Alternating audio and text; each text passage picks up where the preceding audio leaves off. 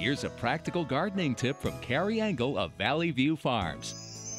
If snails and slugs are eating your plants, I recommend Sluggo. The organic compounds in Sluggo will not harm kids, pets, or wildlife and actually break down into fertilizer. Sluggo kills snails and slugs effectively. It can be used on ornamental plants as well as on vegetable plants up to the day of harvest. Use organic Sluggo.